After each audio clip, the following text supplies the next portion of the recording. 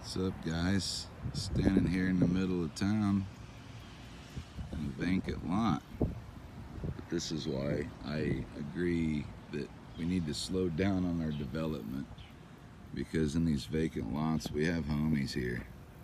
Homies that go unnoticed. Like this little guy. Or a little ground burrowing owl. He's on the threatened list. He's running out of places to hide too, just like Captain Planet. So give these little homies a spot to call home.